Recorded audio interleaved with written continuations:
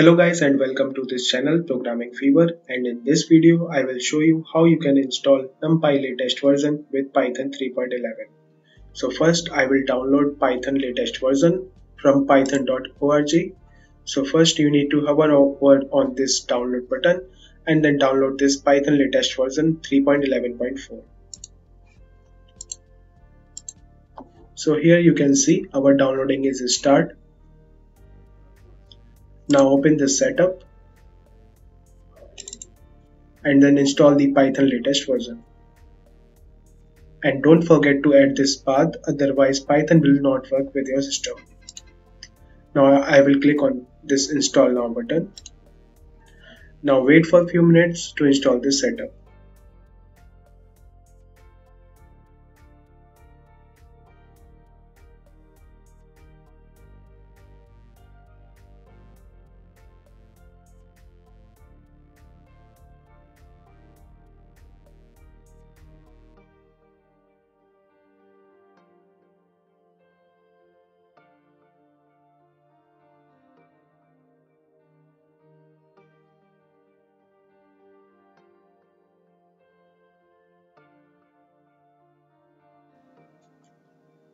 Now you can see Python is successfully installed.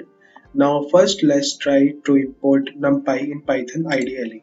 So first open Python IDLE latest version that is three, this one 3.11.4 open this and then I will import NumPy.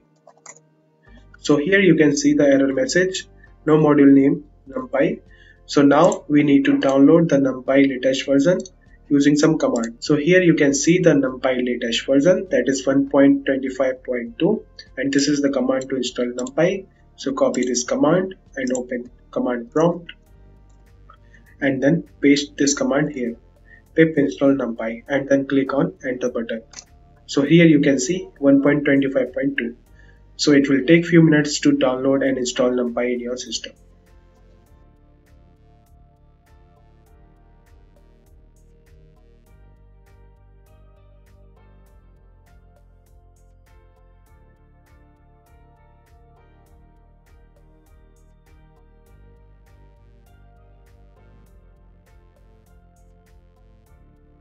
So now you can see NumPy is successfully installed. Now again try to import NumPy in Python IDLE.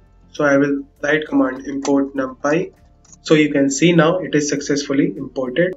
And now let's check the version of the NumPy. So I will write command import NumPy as np and then we will check the version np dot underscore underscore version underscore underscore so here you can see the latest version is installed 1.25.2 so in this way you can install numpy latest version with python 3.11 so if you like this video then hit the like button and don't forget to subscribe this channel. Thanks for watching